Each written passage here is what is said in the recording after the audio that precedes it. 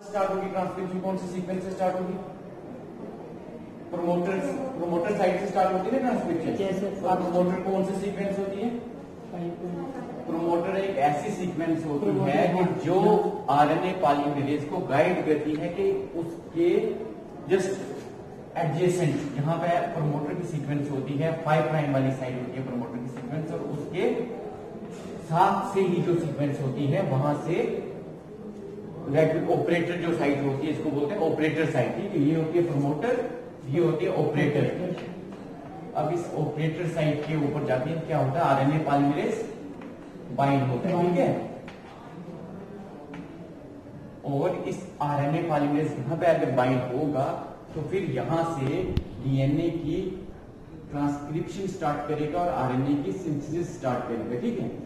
तो अब मुझे बताओ कि जब रेप्लिकेशन होती है तो जो दोनों स्टैंड होते हैं डीएनए के वो टेम्पलेट एक्ट करते हैं ना Yes. मैंने बताया था ना आपको yes.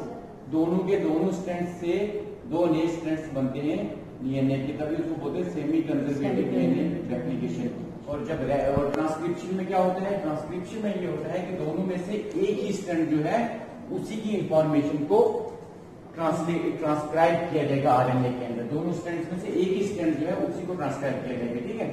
अब आपके पास अगर एक स्ट्रैंड है five prime to three prime DNA का ठीक है? दूसरा होगा?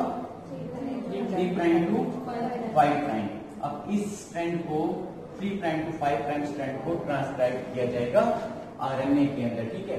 और कैसे ट्रांसक्राइब किया जाएगा? अब इस स्ट्रैंड को कहते क्या है? इसको बोलते हैं टेम्पलेट स्ट्रैंड क्या बोलते हैं?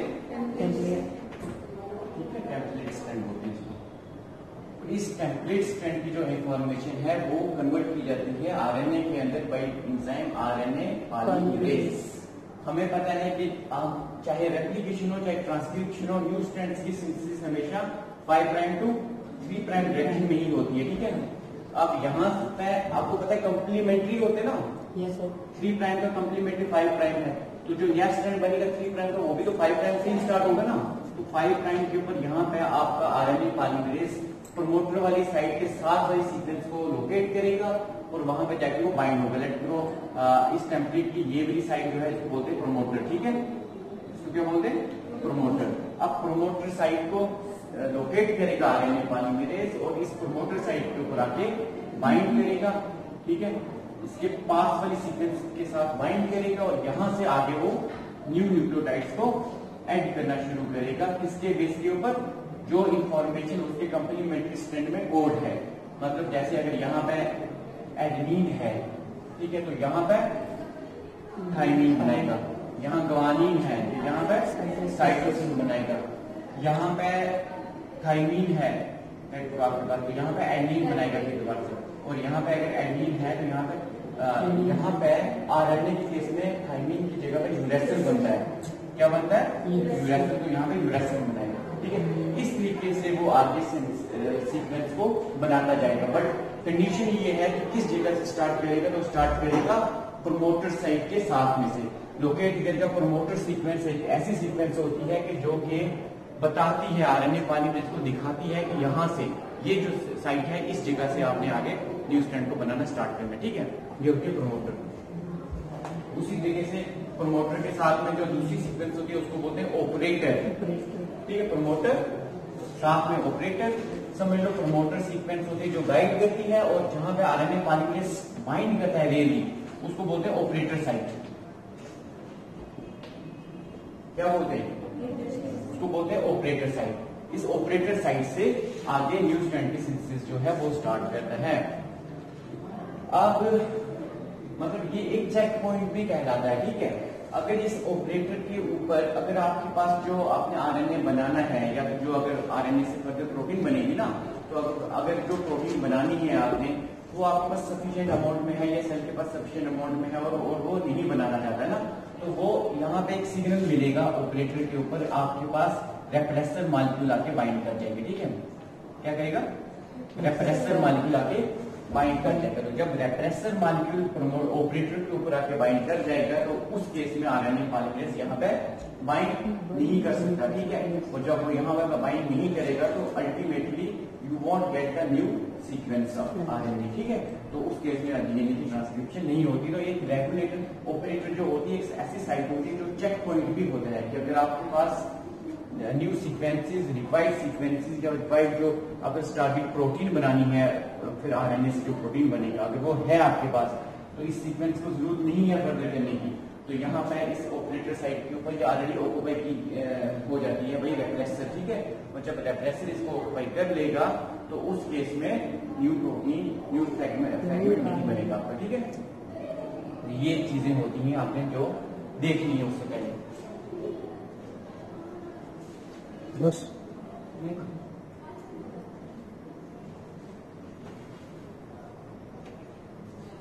तीन स्टेप्स होते हैं ठीक है? आरएनए रेप्लिकेशन के इसके ट्रांसक्रिप्शन के तीन स्टेप्स होते हैं। एक होता है इनिशिएशन ठीक है?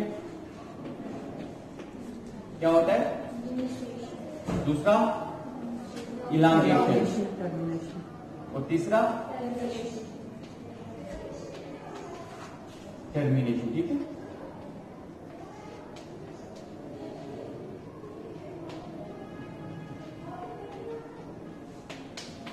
इनिशिएशन इलांगेशन एंड टर्मिनेशन वो जब आपका बेसिकली जब स्टार्टिंग में आरएनए पॉलीमरेज लोकेट करेगा प्रमोटर साइट को और वहाँ से न्यू स्ट्रैंड की बाइंडिंग करने के बाद जब बाइंड करेगा, शुरू वाला लोकेट करेगा सीक्वेंस साइट कौन सी जहाँ पे बाइंड करना है, उसको बाइंड करवाने के लिए कुछ फैक्टर्स लगेंगे। वो जो सारा कॉम्प्लेक्स बनेगा आपका डीएनए ठीक है? आरएनए पॉलीमरेज इनिशिएशन फैक्टर्स और वो जो बाइंड कर देंगे तो वो पूरा जो कम्प्लेक्स बनेगा वो होता है इनिशिएशन कम्प्लेक्स ठीक है? Yes. वो उस उस साइड को इनिशिएशन जब वो बाइंड कर जाता है और स्टार्टिंग में दो तीन न्यूक्लियोटाइड्स बन जाते हैं आपके राइबो बन जाते हैं तो इसको ये आ जाता है आपका इनिशिएशन में ठीक है? उसके बाद होती है इलांगेशन तो स्टार्टिंग में वो कंटिन्यूसली दो चार न्यूक्लियोटाइड्स बनाने के बाद फिर रुक जाता है आरएनए पॉलीमरेज मशीनरी स्टॉप हो जाती है आस्ता आस्ता चलती है। फिर दो चार न्यूक्लियोटाइड्स बनाने के बाद फिर स्टॉप हो जाता है। फिर पाँच छह न्यूक्लियोटाइड्स बनाने के बाद फिर से रुक जाता है। उसको बोलते हैं एबॉर्टिव एबॉर्टिव सिंथेसिस ठीक है? क्या बोलते हैं उसको? एबॉर्टिव सिंथेसिस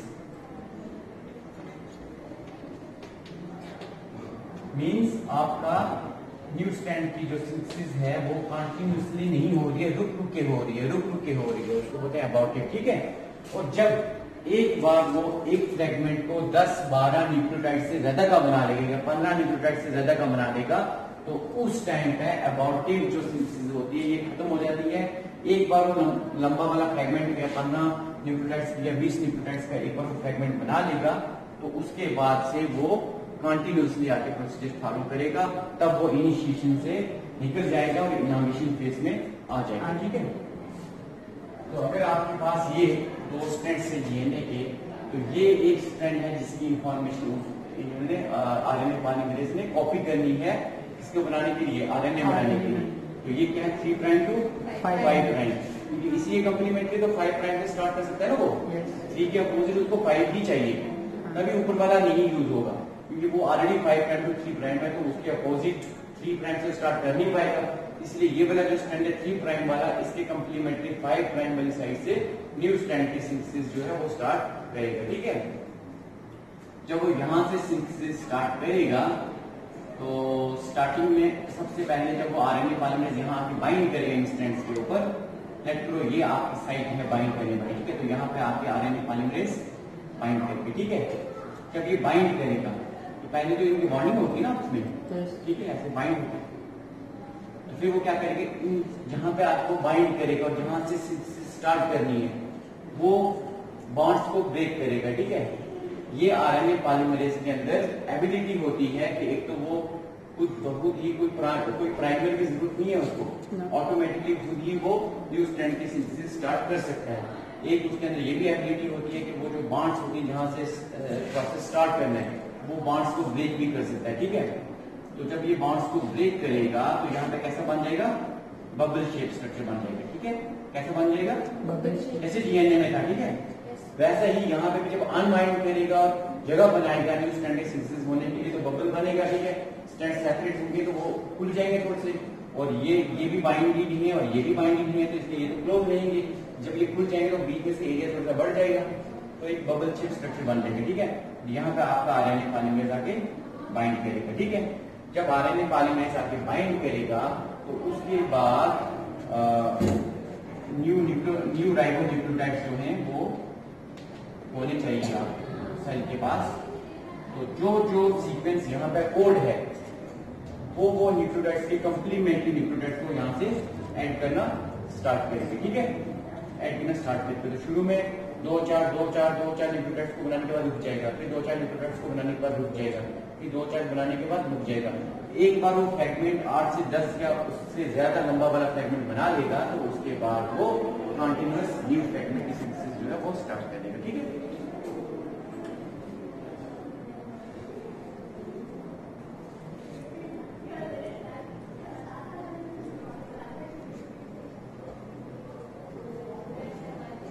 तो ये स्ट्रक्चर आप ऐसे मेरे पास बना हुआ है डायग्राम अगर आपने मेरी है तो आगे मिलेगा शुरू में आपने ऐसे स्ट्रक्चर बना लेना कि थोड़ा सा कोई भी जब आप लिखोगे तो लिखने से क्या है कि वहाँ पर डायग्राम रिप्रेजेंट करना ज़रूरी है ना? तो डायग्राम बनाना बहुत ज़रूरी है। जैसे कि आपके डबल स्टैंड है, एक बार दे देना है ये डबल स्टैंड ये नहीं है आपके पास। ये बाइंड भी है फिर ये सेपरेट होंगे। ठीक है दो स्टैंड सेपरेट कहा से, जहाँ से? यहाँ से। बबल शेप स्विच बन जाएगा, थोड़ा सा खुल जाएगा। बाकी तो ये बाइंडिंग है। यहाँ से खुल जाएगा। यहाँ पे आके आकर आपका आर एन पालिंगेस बाइंड होगा। फिर नेक्स्ट स्टेज में आपका क्या होगा कि यहाँ पे थोड़ा सा आपका जो है इनिशिएशन स्टार्ट होगा तो आरएनए बनना स्टार्ट होगा थोड़ा सा, ठीक है? थोड़ा सा RNA बनना स्टार्ट हो जाएगा, ठीक है? ये है three prime to five prime जैसे कंप्लीमेंट्री ये होगा five prime to three prime और इसको लिखना है आपने आरएनए पॉलीमरेज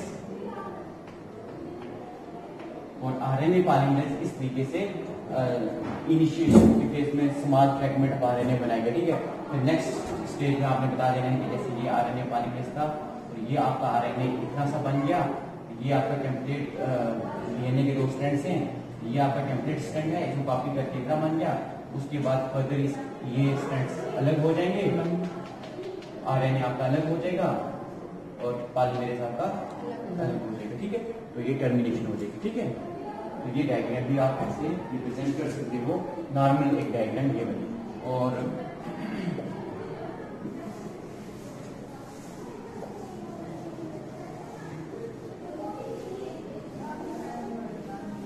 अब आरएनए पॉलीमरेज मैंने बताया था आपको। कि मैंने बताया था उस दिन आपको कि प्रोकैरियोटिक आरएनए पॉलीमरेज के अंदर फ्रेगमेंट्स होते हैं कंपोनेंट्स होते हैं। कौन कौन से कंपोनेंट्स होते हैं? जैसे alpha two beta beta bar omega plus sigma bar divide होगा, ठीक है? तो ये कंपोनेंट्स मिलकर आरएनए पॉलीमरेज प्रोकैरियोटिक वाला बना हुआ होता है, ठीक है? Alpha two beta beta bar omega और रिकॉग्निशन फैक्टर जो होता है, वो होता है सिग्मा ठीक है? सिग्मा रिकॉग्निशन फैक्टर होता है। तो ये होता है बीटा बीटा बार। सबसे बड़े दो फ्रेगमेंट्स होते हैं वो होते हैं इसके बीटा एंड बीटा बार। बाकी alpha two omega small fragments होते हैं as compared to beta and beta bar ठीक है? और प्लस एक फ्लाश शेप स्ट्रक्चर होते हैं ठीक है? आरएनए पॉलीमरेज किस शेप का होता है फ्लाश शेप ठीक है? मैंने आपको बताया था कि हैंड ला ऐसे पाम शेप स्ट्रक्चर होता है ठीक है? तो ये जो यहाँ पे आपके पास दो होंगे कंपोनेंट्स तो ये बीटा समझ लो, बीटा बीटा बार, ये बीली जैसे होती है हाथ की ना तो ये वाला जो होता है, ये किस से बना होता है अल्फ़ा टू और ओमेगा कंपोनेंट से, और ये यही होती है जो रिकॉग्नाइज करती है, जो जाके वहाँ पे बाइंड करती है इसी के अंदर सिग्मा फैक्टर में आके बाइंड होता है, ठीक है? और वो सिग्मा फैक्टर ज़रूरी होता है, जब तक सिग्मा फैक्टर बाइंड नहीं होगा आरएनए के साथ तब तक वो प्रोमोटर की सीक्वेंस को रिकॉग्नाइज नहीं कर सकता, ठीक है? सिग्मा फैक्टर ज़रूरी है प्रोमोटर को रिकॉग्नाइज करने के लिए आरएनए पॉलीमरेज के पास, ठीक है? प्रोकैरियोटिक में एक ही आरएनए पॉलीमरेज होता है यूकैरियोटिक में एक से यूकैरियोटिक में आरएनए पॉलीमरेज फ़र्स्ट होता है आरएनए पॉलीमरेज सेकंड होता है आरएनए पॉलीमरेज थर्ड होता है, ठीक है? ये होता है यूकैरियोटिक में बट आपको प्रोकैरियोटिक ही करना है। जैसे वहाँ पर आरएनए पॉलीमरेज वन जो है, वो राइबोसोमल आरएनए को बनाता है मेनली ये एमआरएनए को बनाता है और ये बना देते हैं इसको टीआरएनए को, ठीक है? टीआरएनए को। ये प्लस स्मॉल न्यूक्लियर आरएनए ये plus five S ribosomal RNA तो वहाँ पे यूकैरियोटिक के अंदर आपके पास तीन डिफरेंट टाइप के आर आरएनए पॉलीमरेज होते हैं, जो कि differently R R N A M R N A और टी आर एन ए को बनाते ठीक है? और यहाँ पे प्रोकैरियोट में एक ही आर एन ए पॉलीमरेज होता है जिसके अंदर सारी सारी एबिलिटी होती है क्योंकि यहाँ पे एक होता है यहाँ पे आपका जो आ, सिंगल जो प्रोकैरियोट के केस में सिंगल ही पॉलीमरेज होता है जो कि आपको उसको डीएनए को आरएनए में ट्रांसक्राइब करेगा ठीक है? और इसके अंदर हेलिकेज एक्टिविटी भी होती है ताकि को अनवाइंड करे बट पॉलीमरेज एक्टिविटी भी होती है कि न्यू को सिंथेसाइज करे। उसके बाद इसके अंदर एक एबिलिटी होती है कि प्राइमर प्राइमर की ज़रूरत नहीं होती इसको। ये ऑटोमेटिकली खुद ही, जैसे ही ये प्रमोटर के ऊपर बाइंड करेगा बाइंड करने के बाद इसको सिग्नल मिलेगा और इसको रिक्वायर्ड फैक्टर्स मिलेंगे इनिशिएशन फैक्टर्स मिलेंगे। तो ये automatically without the need of any primer ये न्यू स्टैंड को स्टार्ट करेगा, ठीक है? अब होता है इनिशिएशन और इलांगेशन इनिशिएशन याद आ गया आपको? जैसे ही जाके प्रोमोटर वाली साइड पे बाइंड करेगा और प्रोमोटर वाली साइड के वहाँ पे बाइंड करने के बाद जब उसको फैक्टर्स मिलेंगे इनिशिएशन फैक्टर्स तो वहाँ से स्टैंड को सेपरेट करेगा और कंप्लीमेंट्री न्यू स्टैंड के सिंथेसिस को स्टार्ट करेगा। और शुरू में अबॉर्टिव दो, चार दो चार दो, चार ऐसे न्यूक्लियोटाइड्स होंगे। जब एक बार वो दस दस से ज़्यादा स्टैंड को कंटिन्यूसली सिंथेसाइज कर लेगा तो वो इनिशिएशन से इलांगेशन में चला जाएगा। ठीक है? इलांगेशन में वो इसी तरीके से कंटिन्यूसली न्यू स्टैंड की सिंथेसिस करता रहेगा ठीक है? कोई इश्यू नहीं इसमें, बराबर वो लगातार न्यू स्टैंड की सिंथेसिस को करता रहेगा, जब तक के उसको टर्मिनेशन का सिग्नल नहीं कि स्टैंड यहाँ पर रोकना है, ठीक है? वो जैसे ही उसको टर्मिनेशन का सिग्नल मिलेगा तो वो कैसा होता है? टर्मिनेशन दो टाइप की होती है इसमें, ठीक है? एक होती है रो डिपेंडेंट एक होती है रो इंडिपेंडेंट ठीक है?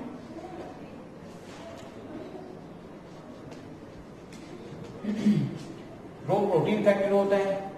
टर्मिनेशन दो टाइप की होती है rho dependent and rho independent ठीक है?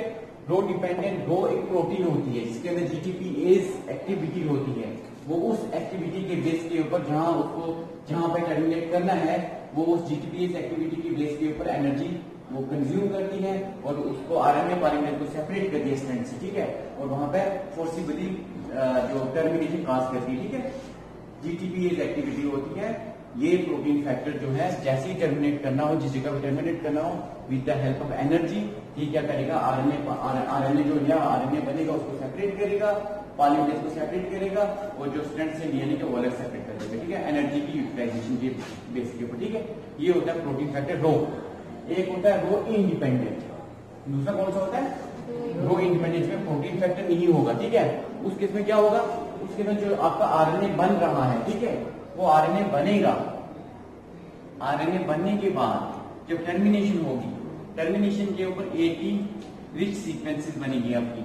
एटी एटी एटी ऐसे जब सीक्वेंसेस बनना स्टार्ट हो जाएँगी तो तब ये सिग्नल आएगा कि आप टर्मिनेट करना है और उस 80 80 80 से पहले आपके पास कंसेंसस सीक्वेंस बनेगी कंसेंसस सीक्वेंस होती है कि यहाँ पे अगर 80 80 80 जा रहा है तो आगे बनेगा इसे इसी का complementary T A T A T A T A ठीक है ये होती है कंसेंसस सीक्वेंस जो कि आपस में ही बाइंड कर सकती है ठीक है जो कि आपस में ही बाइंड कर सकती है होती कंसेंसस सीक्वेंस जो एक दूसरे की कंप्लीमेंट्री होती है। जैसे एक सीक्वेंस आपकी five prime to three prime है तो उसी का कंप्लीमेंट्री दूसरी sequence five prime to three prime जो बनेगी, ठीक है? ताकि वो आपस में ही इंटरबाइंड कर सके, आपस में ही बाइंड कर सके। ये होती है कंसेंसस सीक्वेंसेस तो जब टर्मिनेशन करनी होगी, उस केस में ये कंसेंसस सीक्वेंसेस की सिंथेसिस होने के बाद ये सीक्वेंसेस आपस में इंटरबाइंड कर जाती है, ठीक है?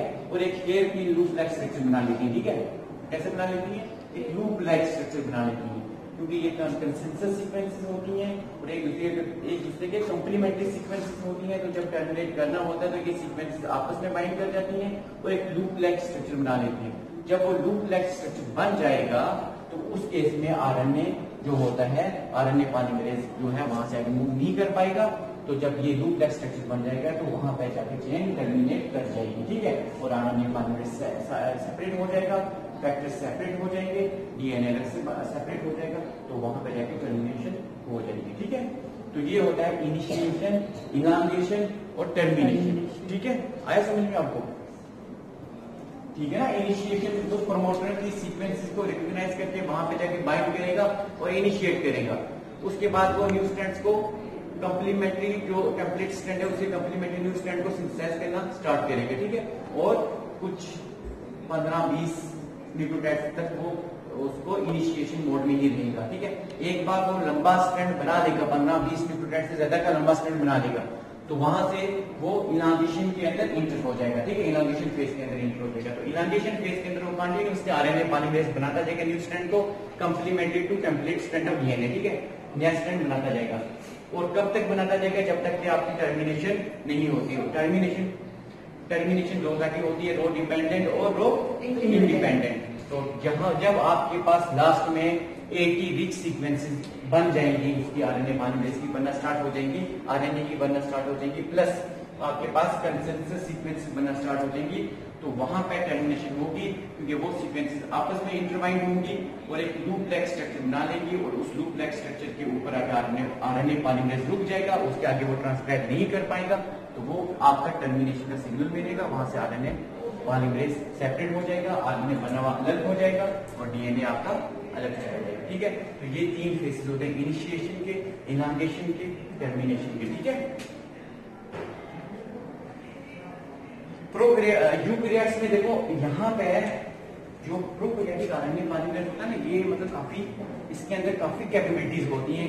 सारा कुछ खुद ही स्टार्ट करने की ठीक है? काफ़ी कैपेबिलिटीज होती है। यूक्रियाट्स में बहुत सारे फैक्टर होते हैं जो कि आगे इनिशिएशन के लिए बाइंड करते हैं ठीक है? जैसे कि आपके पास ये है डीएनए सीक्वेंस और ये है आपका template strand three time to five prime ये आपकी प्रमोटर साइट है, ठीक है? इस प्रमोटर साइट के ऊपर आके सबसे पहले आपका ट्रांसक्रिप्शन फैक्टर सेकंड डी आके आके बाइंड करेंगे ठीक है? और प्रोमोटर सीक्वेंसेस कौन कौन सी होती है? मैं आपको बताया था। एक सीक्वेंस होती है T A T A TATA act ठीक है? एक टी टी जी ए सी ए ठीक है?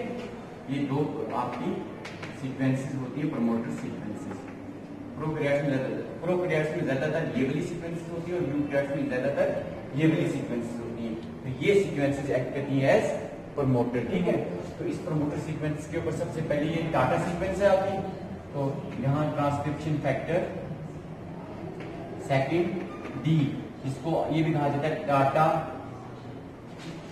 बाइंडिंग प्रोटीन ठीक है TATA binding TATA sequence binding protein में ठीक है? तो ये फैक्टर आपके यहाँ बाइंड होगा। उसके बाद आपके पास ट्रांसक्रिप्शन फैक्टर सेकंड ए आएगा। वो आपके इसके साथ में बाइंड होगा, ठीक है? जब ये बाइंड हो जाएगा तो फिर आप, फिर आपका बनेगा वे ट्रांसक्रिप्शन फैक्टर सेकंड एफ़ के लिए, या आरएनए पॉलीमरेज सेकंड के लिए। तो आरएनए पॉलीमरेज उसके बाद आपके यहाँ पे बाइंड होगा।